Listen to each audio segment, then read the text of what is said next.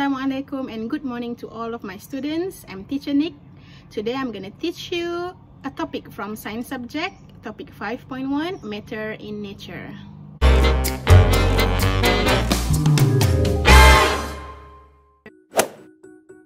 Matter is anything that has mass and occupies space. Almost all things exist in nature are matter.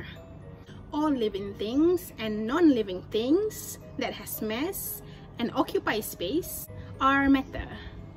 But there are few elements in nature such as light, heat, sound, shadow, temperature and time do not have mass and also not occupying space. They are non-matter.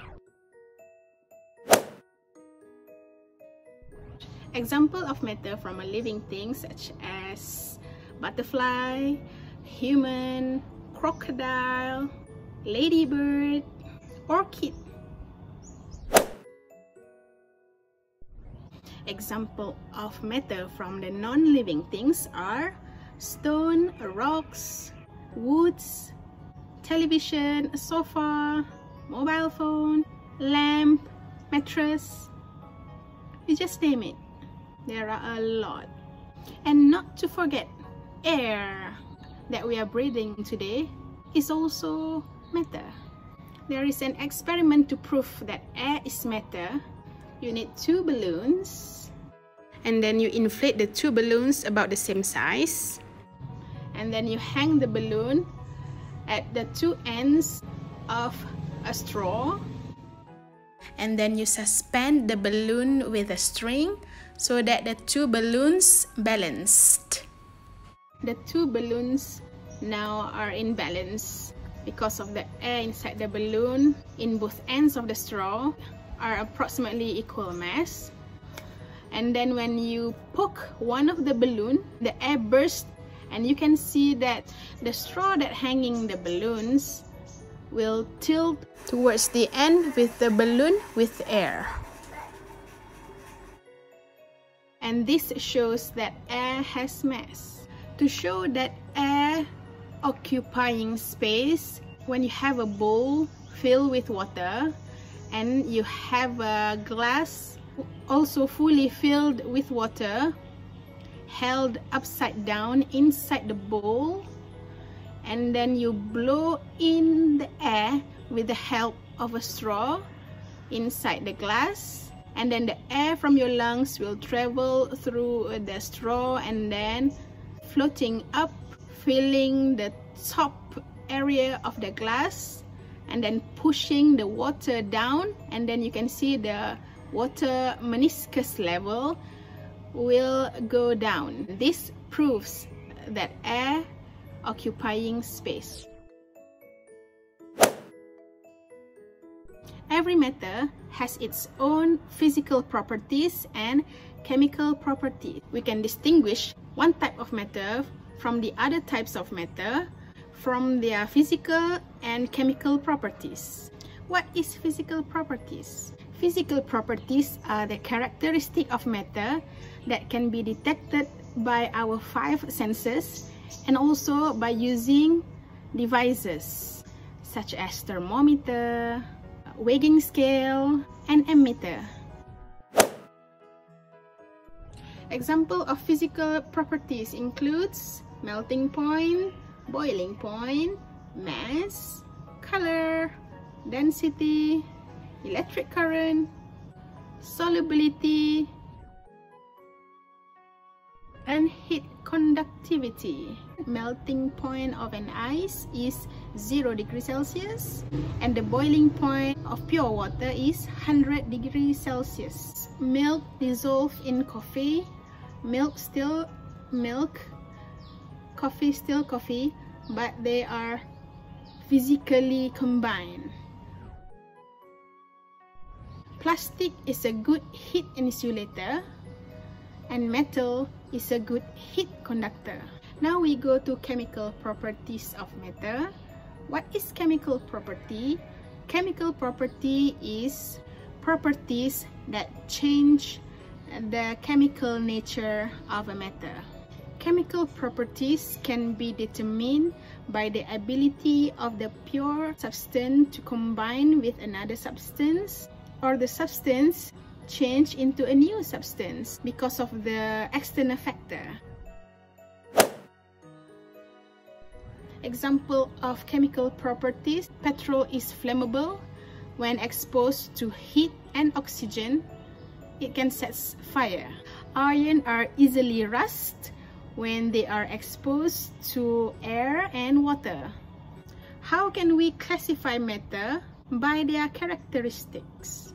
Matter that makes up an object is called material. Physical property of a material depends on the type of matter that they are made of. Every material has its own physical properties or characteristics. Knowing and understanding the characteristic of a material guides us in handling the material properly. We can classify various materials based on their characteristic.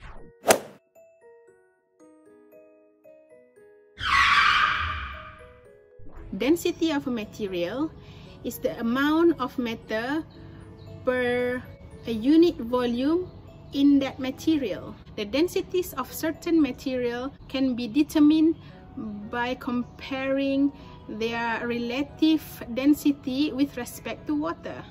When you put few materials into a water, some of the material will float at the top and some will float in the middle and some will sink.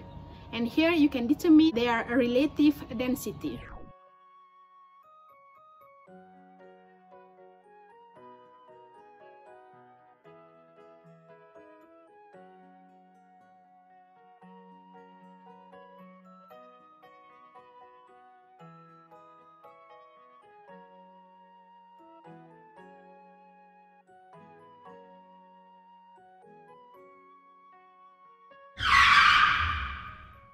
Matter can change from one state to another state by changing their temperature and pressure. Solid melts into liquid at its melting point.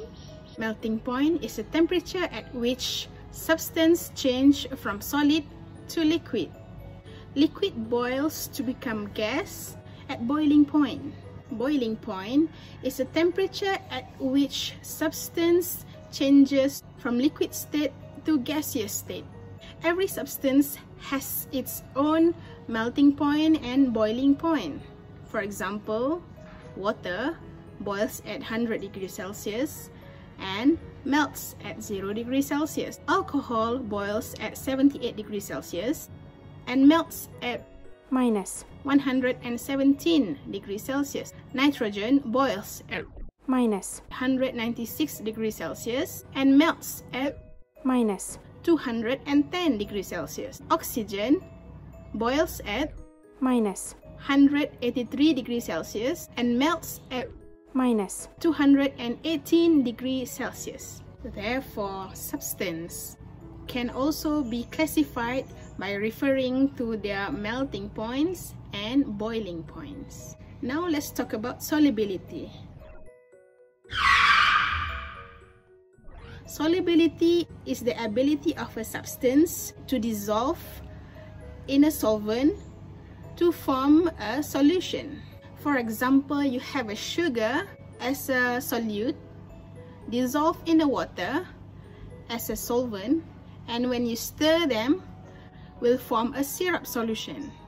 Term solute, solvent and solution will be discussed further in in Form 2 topic solution. Different substances have different solubility. Therefore, solubility can be used to classify substances.